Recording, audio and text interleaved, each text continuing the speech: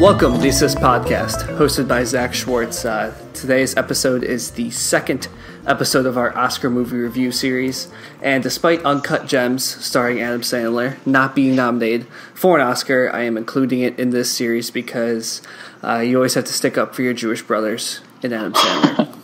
so today, joining me to break down Uncut Gems is Salvador Corona. Sal, how are you doing in warm Florida? I'm good. I'm good. Keeping keeping cool inside in this quarantine. But yeah, I'm excited to break down this this crazy movie. Yeah. No beaches for you, like the rest of our uh, generation down there, ruining no, no, everything. No. I'm I'm I'm trying to be smart about it and not being stupid Floridian and try to make the quarantine last longer by being outside. There we go. That's a medical school worthy statement right there, if you ask me. That was, that was brilliant. uh, so, Uncut Gems was released in December of 2019. Had a budget of only 19 million dollars, uh, box office of 50 million, so doubled its money pretty easily.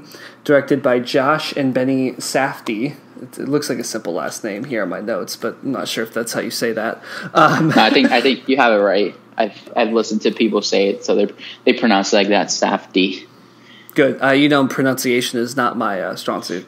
So, and the main cast starring Adam Sandler as Howard Ratner. This is rough. Lakeith Stanfield as his assist, assistant, uh, Demany Julia Fox as Julia, his Adam Sandler's girlfriend in the movie, and Kevin Garnett as his big basketball loving self, with cameos by Mike Francesa and The Weeknd because of the New York vibes. Uh, very interesting movie, I should say, from the start. Uh, just looking looking at that cast, uh, Adam Sandler coming back with a movie that is very serious in nature and not like his past comedies and stuff like that. What did you think going into this movie? You know, looking at all, all that, seeing some of the trailers and stuff like that. So, by, by seeing some of the trailers, I knew this wasn't going to be one of those typical Adam Sandler movies, like his comedies that he does it was going to be more of an intense movie, but I was more intrigued to see how he would adapt to this role. But I did not expect this at all. Even from like the opening scene of the movie, I did not expect it to shape out the way it did. There we go. Perfect transition. So, in the opening scene, so I was looking at the Wikipedia today for this, and it turns out that the Ethiopians that are seen mining the gem or uncutting the gem, if you will, uh, the opal of the title of the movie, are Jewish because, of course, they are. I, I don't know oh, yeah, why. Yeah, yeah. Uh, did you notice that in the movie? I didn't. didn't didn't they? He said it later on, right? They're he might like, have. Yeah, he said they were black Jews. Oh, I think that's what he said. I, I don't want to be, I don't want to be, I don't know, politically incorrect by referring to them as that, but I'm pretty sure he, he, Adam Sandler called them that in the movie. Well, if Adam Sandler says it about another Jew, it's okay. And black Jews are pretty rare, so it makes sense that they'd be in the movie. My dad uh, shook his head at that one. uh, so we get that scene, and then we get an intro into Adam Sandler's character, Howard Ratner. Uh, he wakes up in his apartment in New York uh, with a younger girl who turns out is his girlfriend uh, named Julia who also works for him, uh, despite him having kids and a family, whom she is, he's getting a divorce with his wife after Passover. So not only is Adam Sandler Jewish, his character is also Jewish, which is perfectly on brand uh, for him. His wife's name is Dinah. That all that whole kind of thing. So right from the get go, we get introduced to this character as chaotic. Uh, you know, his, his life is chaotic. He is the owner of a jewelry store and such like that. And you think the pacing of this movie is really an important um, aspect to it. You want to talk about that a little bit, just the nature of it? Yeah, it's it's it started very fast paced from the start. Just like they incorporated so much drama from like like you said that that scene where he walks into his apartment with um and he has like there's a bunch of like girls in the bed and from that it's like starting quick and then it goes from him well that one scene where he was like he's uh well, it actually starts from the when they were mining for the opal, and then like it does that weird transition, and he's in getting a colonoscopy, and then That's it like right. switches, and then he has to go back to work. So it's very fast paced, and it really I think it's important for this movie because of the dramatics that are involved with him and all the crazy stuff he does. It gives it a New York flavor too, with that Yeah. like chaotic energy. The hustle and bustle. Right. So Kevin Garnett, uh, former basketball player, Boston Celtic, comes into the jewelry store and becomes transfixed by this opal, uh, this gem that uh, Howard Ratner, Adam Sandler's character, has purchased. And I believe Ho- Howard loans it to him for the playoff game against the Sixers in 2012. So the movie is all set during these basically a week or a couple days in uh, 2012 with this uh, playoff series in adjacent along with it. Um, so that all happens. So he's going to sell this opal eventually at auction. He loans it to Kevin Garnett. Then there's a whole subplot from that of Kevin Garnett uh, keeping it too long. And I love, I love how Adam Sandler throughout the whole movie is like KG. Yeah, where, Yeah. KG? so uh, great New York accent there. Um, eventually, we learned that Adam has some Howard, sorry, has some issues with gambling. In the fact that he is owing hundred thousand dollars of gambling debt to these couple mob guys. We don't really get too much characterization of them. Uh, he gets ambushed at a school play. He gets ambushed after the auction. It's a it's a repeated thing of this gambling debt. And I guess I, I missed it, but he was saying this opal could have cost uh, um, or been sold for a million dollars. Correct at the beginning. Yeah. that's what he kept Yeah. going on and on about. Yeah, that's what he said at first. Um, when he got when he like got the opal and um and when KG was fell in love with it, KG wanted to buy it straight away from him, but he's like, no, I can't sell this. I need it for an auction because he thought that it was going to go for that amount of money in the auction, but he set this at a, with his own appraisal. He still had to get it appraised by like official gem appraiser. Right, and then his assistant I mentioned before, uh, Demany, knows Kevin Garnett will not, somehow cannot get the uh, gem back despite its very high lucrative price on the market. Uh, eventually, Adam Howard Ratner goes to the Weeknd uh, little show, which back in 2012, the Weeknd wasn't that big of a deal yet. I suppose I don't really follow his music. I'm not sure when he blew up. And it turns out the Weeknd is snorting girlfriend with a or snorting girlfriend, snorting coke. That'd be a weird scene. Uh, snorting cocaine with his girlfriend, uh, Howard Ratner's girlfriend, which causes a fight. They break up. So about halfway through the movie, you know, it seems like Howard's life is truly falling apart. And that eventually it's setting up for, for me, in my mind at least, it was setting up for a redemption arc in the second half of the movie. What'd you think? Yeah, no, I agree. Well, the whole movie he's trying to cover cover his tracks with by starting a new problem. It's like a never ending issue of him like trying to solve a problem by creating another one. So like like you said, it's it creates a sense of like he's gonna figure it out eventually. Right. So then eventually the he does get Kevin Garnett does give the opal back. It goes to auction. He has somebody bid up the price of the opal. I believe his father-in-law because the appraisal comes in 10 times lower, which uh, seems like a massive error if you really think it's going to Yeah. go for a million and it comes in around $150,000. Um, and so then right after that gets sold and that gets all messed up, he gets beat up again by the gambling guys. And then he his girlfriend comes into the shop, sees how sad he is, how beat up he is, and they fix things up, which is a nice love story. Um, and then eventually Kevin Garnett comes in and but basically like lays the smackdown on him. It kind of says what we're thinking during the course of the movie. Says, "What are you doing? Like, I want this. You have someone bid up against me." To buy it, and then eventually Kevin Garnett does buy it for one hundred seventy-five thousand dollars. And I want to remind everyone, Howard's character at this point owes a hundred grand. So right here, the movie could end. You know, this could be it. It all works out. Everything's fine. If it ended here, it wouldn't have been a great movie per se. But this is where I feel like the logical character would uh, would wrap this up. But it, it does not get wrapped up here. No, it just gets started. So uh, this isn't necessarily. It, it becomes a little bit um, present throughout the movie, but not necessarily hitting you in the face with it. It's more of his poor decisions. But Howard's a compulsive gambler, um, and funny enough, Mike Francesa, the New York radio legend, is his bookie. Yeah, that's funny. So Howard takes us $175,000 in cash that he gets from Kevin Garnett and bets it all on game seven of the Boston Philadelphia game going that night because Kevin Garnett is transfixed by this opal and is going to play very well. And it's funny how they went back and they did the bets to be where. Uh, they were totals, you know, of Kevin Garnett's during the game and stuff like that. Because we, we checked it out, like it was all real. It wasn't Yeah, a made up game. You know, they used real footage. Uh, so the three uh, mob guys come to collect because he finally has the money, and he puts all one hundred seventy five thousand dollars in this game. Once again, like you just said, making more problems Yeah. uh, than he needs to. So he ends up locking the three gambling guys up into this. I guess since it's a jewelry shop, he has kind of like a holding center. So they're in there. Yeah. They're all watching the game together, and amazingly, Howard's Howard's bet wins one point two million dollars.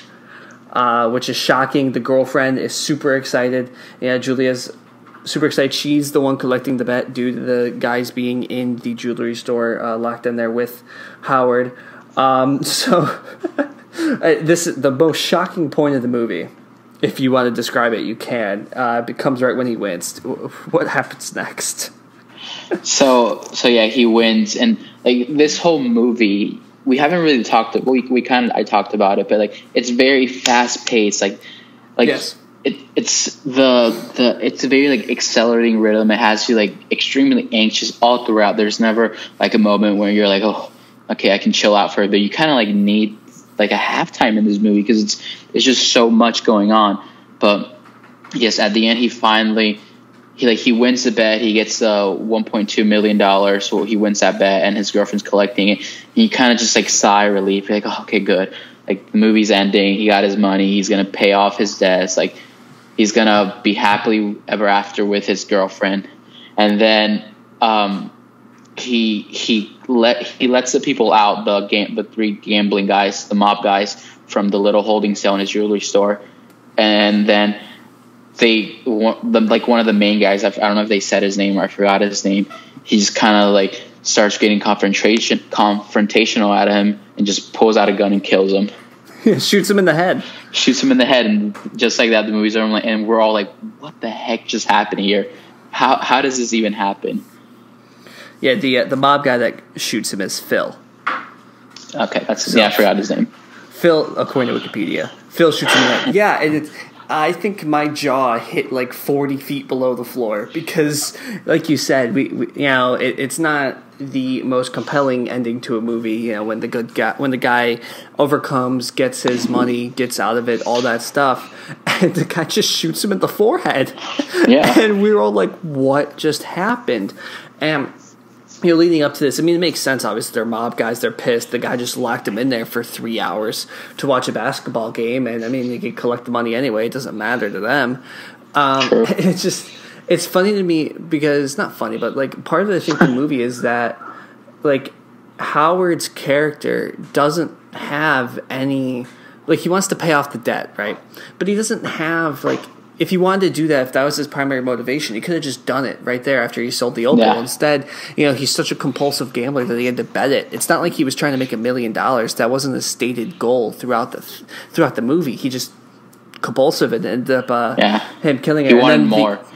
yeah, and then the movie ends with the girlfriend having the money, uh, uh, not knowing that uh, Howard's dead yet. So, and then the rest of the mob guys loot the store, and that's that's it. Yeah, it's such a yeah, like you said, an ending.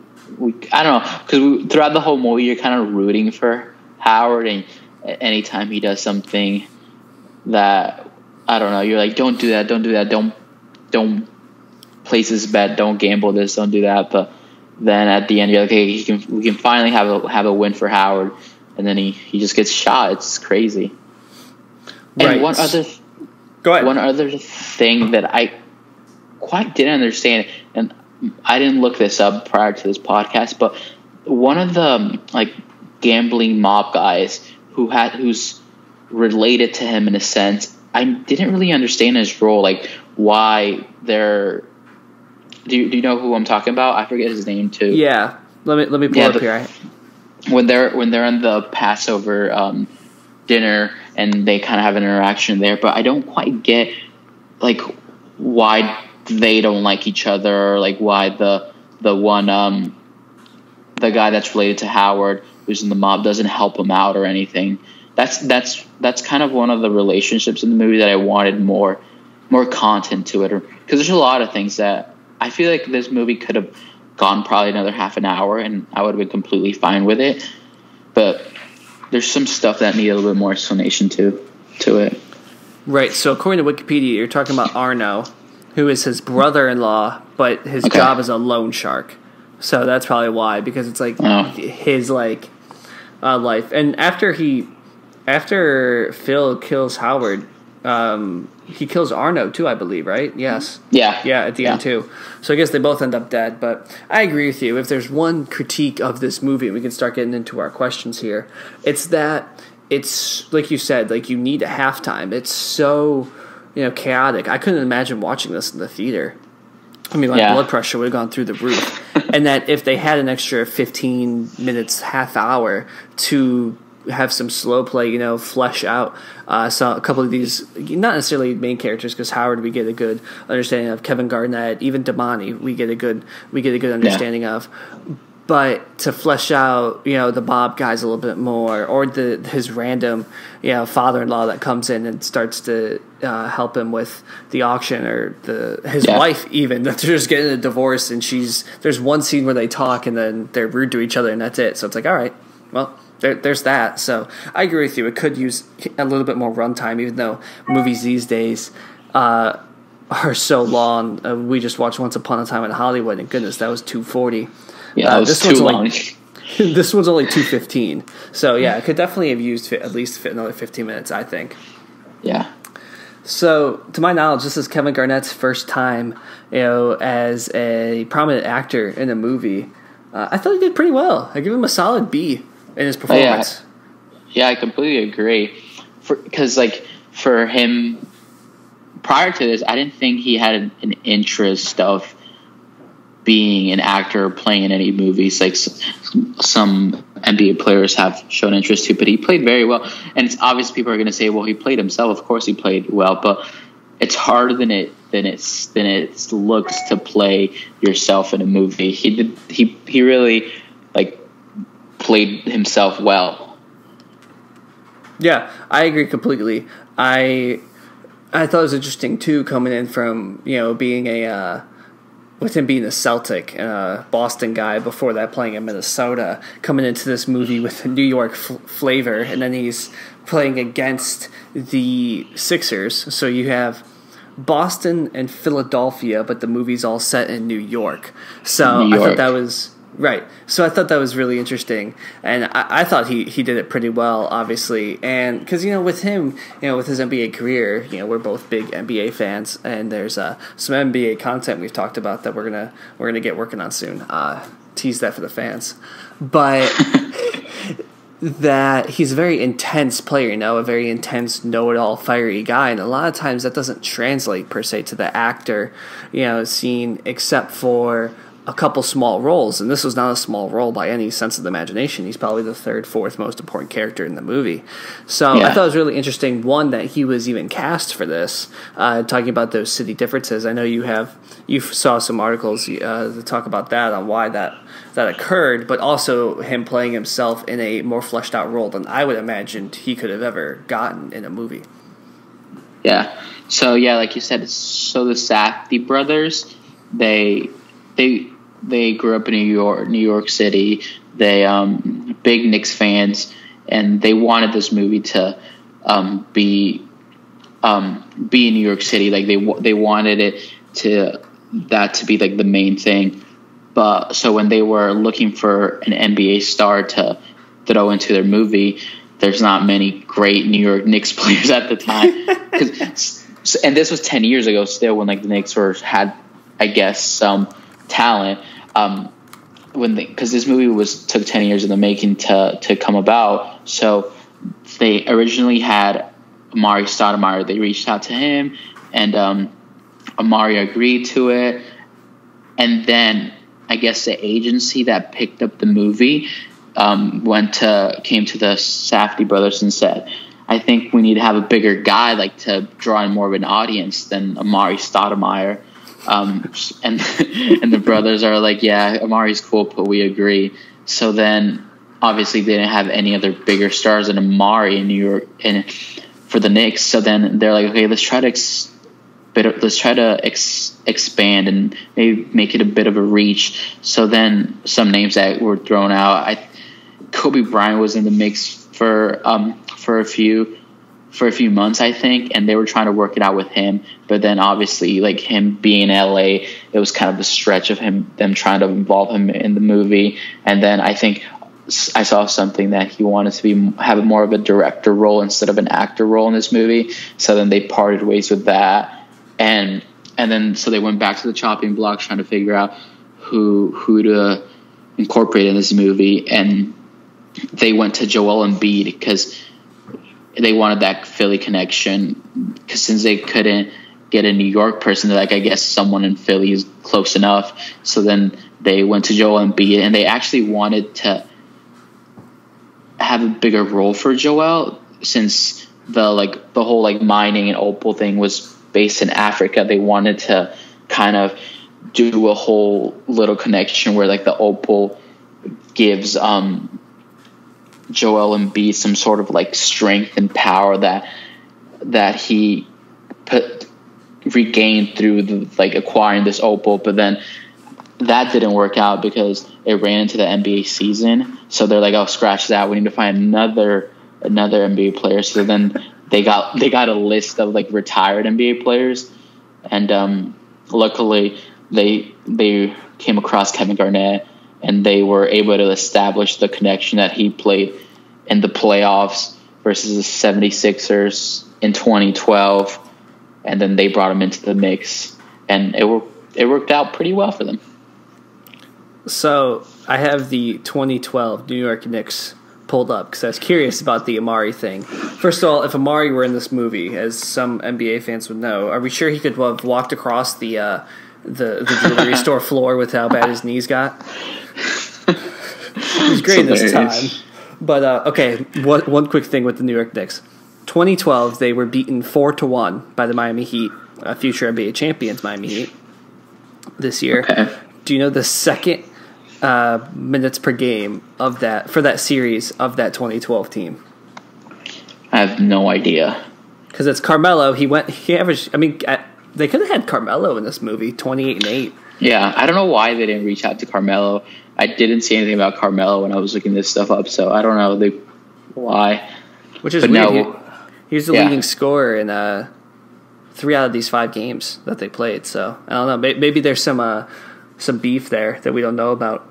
Uh, the answer is J.R. Smith. Oh my! You imagine 2012 J.R. Smith in this movie? I feel like he would have he would have tried his hardest though, like him being J.R. and being kind of a showman and trying to like put on for the fans. Right. It would have been so funny to watch. But yeah, it's it's also like when they were thinking of the star, they probably didn't envision J.R. Smith to be in this role. Yeah, he would have uh, forgotten the score in an NBA Finals game. He would have forgotten the score at the end of the end of the movie and be like, "Wait, I thought I was supposed to shoot Howard." Uh, sorry. Okay, uh, this should be a quick question about the movie. Is Demany the worst employee ever? This man does not do one thing his boss asks him to do the whole movie. Yes, he's horrible. See, and that's another like relationship. Like, I don't quite get. It. I knew he was. His role was to bring in clients for um, Howard, Yes. and like, but it it seemed like he was more of Kevin Garnett's like best friend than employee for Howard. Like you said, he didn't do anything that Howard asked him to, and then I don't know. He was. It was just. It was so. It was such a weird dynamic they had. Yeah, so uh, th- that's uh, out of all across all movies, I think he's just terrible. That I've never seen someone so bad at his job. Um, another quick hitter: Did Mike Francesa or The Weeknd have the better cameo in the movie? Yeah, this is a tough one. Who do you think had the better cameo? Probably The Weeknd because it, it got me thinking about you know his his rise up because as we've discussed, the whole movie is in like a week in the spring of 2012. And I mean, I don't know, it's Yeah. only for us, I guess 2012 to me doesn't sound that long ago, but like the Weeknd has a, a pretty big rise in the last eight years. And also, we watched it right before his album dropped, so I guess that helps in my mind too. Yeah. No, yeah, I agree. And also, yeah, he did have a bigger role because I, even the, what was the character's name of the like? What was his official? And I forgot his name of the, the bookie. I know it was um, Mike Francesa, but what is what was his name? Oh, okay. Hang on. Let me let me go back. Oh, let me. I I don't even know his name. I just remember him being the bookie. Let's see. His name was um. Why can't I? Gary. Gary. That was the name. His name's Gary. So yeah, I I think they um Gary and because the Weeknd was playing himself, the Weeknd they had, I would say similar amount of screen time, but the impact of the screen time was definitely bigger for the Weeknd. Just his role in the whole like bathroom scene, how that played out, That's and true. how that how that added to the the drama and the crazy life that Howard was living and like nothing was going his way at that time. So it definitely added to the dynamics. Um, because the bookie, even though he was he was essential in like aiding to the gambling, I think after that the the first bet we saw was kind of um was terminated by the gambler mob guys. That's after right. that, we didn't get to see Gary anymore, did we? No, I didn't because uh, they have the uh, the girlfriend go straight to the casino. Yeah. So like yeah, after that, I feel like they, if they wanted to incorporate him more, they they had the opportunity to, but they they probably had enough with him. So that's how I guess they got rid of that cameo by adding that drama drama into it. So, not really sure if this movie has a moral or anything uh, in regards to that overall meaning, like Parasite did that we discussed the other day. But the only thing I could come up with that was close and pertains to both of us as people who, let's just say, look into the sports betting line for certain matchups. Um, does this movie discourage sports gambling? And does it discourage you from sports gambling? It does not discourage me, just because I I was before this movie, I was aware of like how dangerous it can be and how how crazy it gets if it's not controlled. Like I I I'm, I was aware of the dangers of gambling in general. So this wasn't something that like was brought into like like oh crap if I if I become addicted is what happens. I was aware of the addiction, so it was there was no new light shined on gambling, but but I could see where it could discourage some people, especially if you're not if you're not if you're just getting into the scene of gambling. You could be like, okay, I need to quit because I don't want to become a character like Howard did. But then, in a way, also you can look at the opposite side of that and a fresh mind that hasn't got dipped his toes into the gambling scene could be like, holy crap, I can win so much money by gambling just like Howard did. Right. You see what I'm saying? Yeah, and just not get shot in the head for it. Yeah. Yeah, it's true. I mean, it doesn't for me either because I think you see, you, th- there's a very fine line here between what a good sports gambler would have done and Yeah. what a bad sports gambler would have done. And Howard is a bad one, that is for sure. Because if you, for some reason, found yourself in that much debt uh, that Howard's in this movie, and you were a good sports gambler, you would pay off that money as soon as you have it. And in this movie, there is a point, as we've discussed, when Howard has the money to pay the people off. He, and he has a, an excess of it $75,000 extra of that money. And despite him having that, he decides to, you know, bet all of it. When in reality, you know, he could pay off the hundred uh, Yeah. K he owes and bet the seventy five thousand. That's way too much money to bet, kids. Even if you um, have that much money, I don't care how confident you are. but Yeah, unless think, unless you're a billionaire, but yeah. or Dave Portnoy.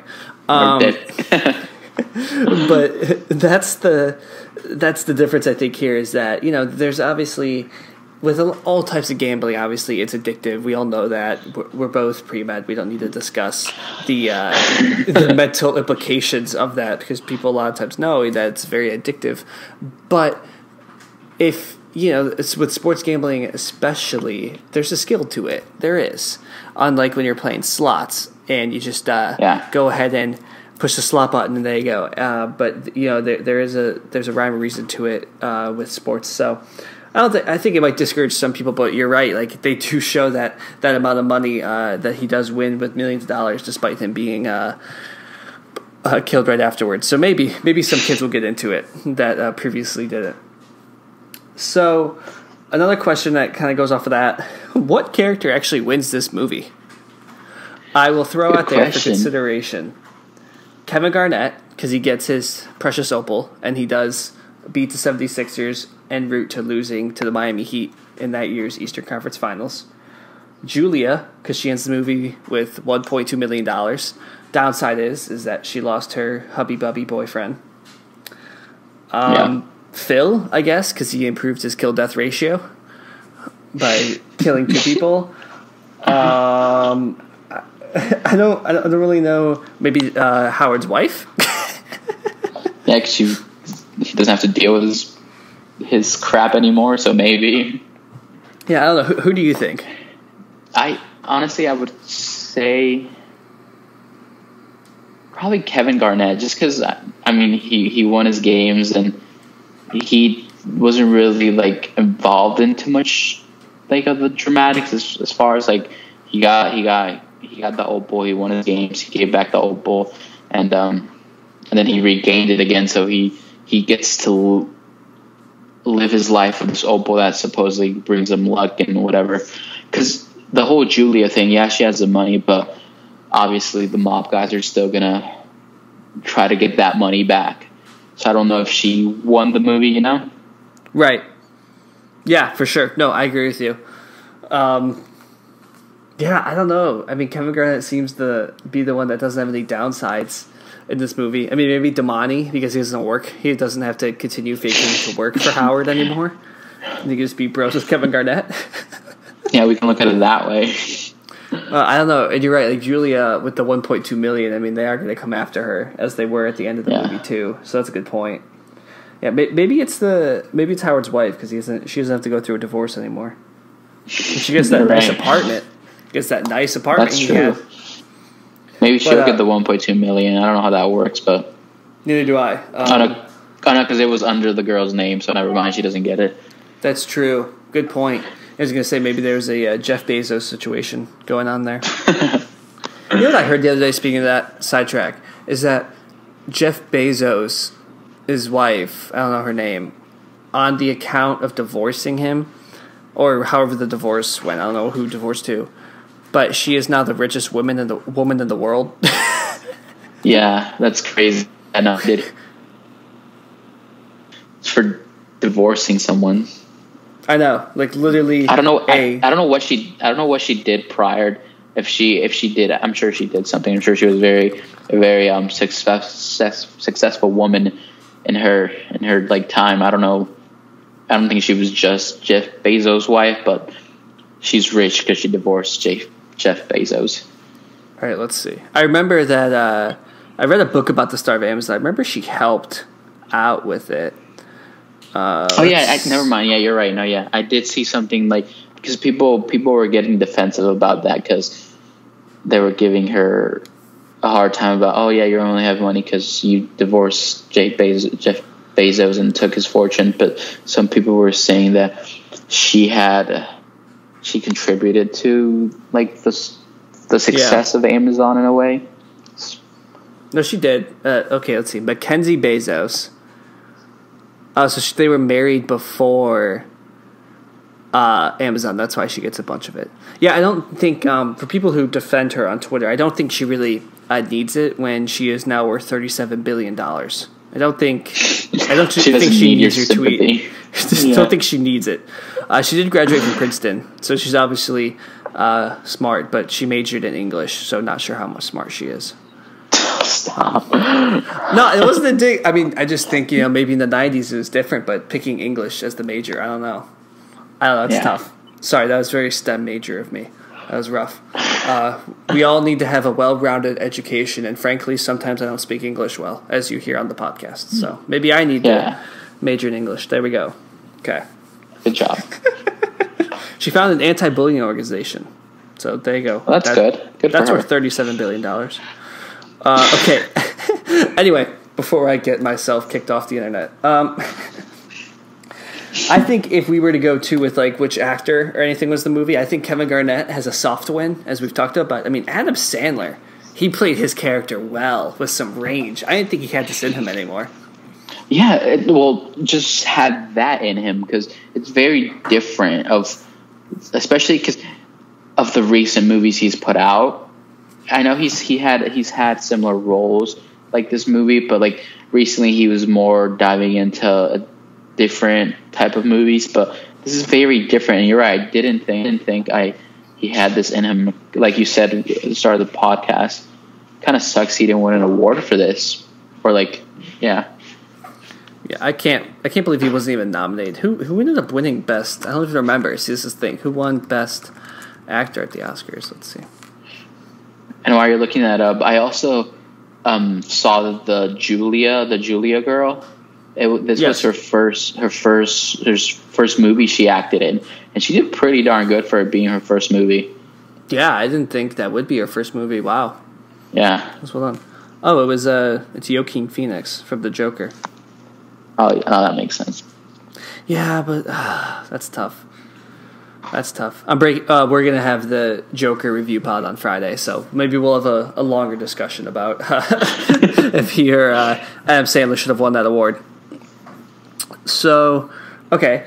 So, last question I have here that we can talk about whatever we want is the movie rewatchable? And usually, when you have movies like this that you know we talk about with this level of depth and they're this interesting, the answer is always yes. I'm not Yeah. so sure about this one. What do you think? No, yeah, you're right. I don't because especially you kind of have to. I don't know. Listen, the people that listen to this podcast probably seen already, but like they understand how how like it develops and how all this like small little actions and like fast pacedness of this movie really contributes to outcome of it. And I don't know if, if you can sit there and watch it and rel relive all that dramatics. You, it won't be the same. Like it probably you could probably like get maybe watch it one more time if if if if anything, but definitely not like three times. Right. Yeah, I agree with you. I think I said it uh, yesterday when we recorded our Parasite podcast. I think the way that you know how it ends kind of doesn't take it out of the storyline, obviously, because I think you're right. You'll be able to pick up a couple things each time you you watch it. Again, you know, it's so chaotic in the especially in the first hour or so, but you'll be able to pick up some different things from then but for you know the the end of the movie and such like that i i don't think it's that rewatchable per se just because uh, there's you know how it ends you know he gets shot in the head you know it doesn't work out and i think that's one of the main you know uh, things to this movie that makes it great in the end is that you know you think you have an idea of where it ends all the way up to the last three minutes and then it stuns you just like that Yeah. No, yeah, I agree. so would you recommend this movie Yeah, I would definitely recommend this movie. It's a great movie. I agree completely. Truly, uh, one of Adam Sandler's best performances uh, when he's not being a big old dad like he is in all of his other comedic movies. Yeah. So, other note: uh, Leo DiCaprio got a nomination for Once Upon a Time in Hollywood, and uh, Adam didn't for this movie. It's interesting. Yeah, and we watched those movies like within a few days of apart, so I think Adam definitely deserved to be nominated over Yeah. over Leo. I think it's I don't know. I agree with you, hundred percent. I do, but yeah. Is there anything we missed that you would like to discuss? I don't know if we missed anything, but I wanted to add something just for I don't know like content, I guess.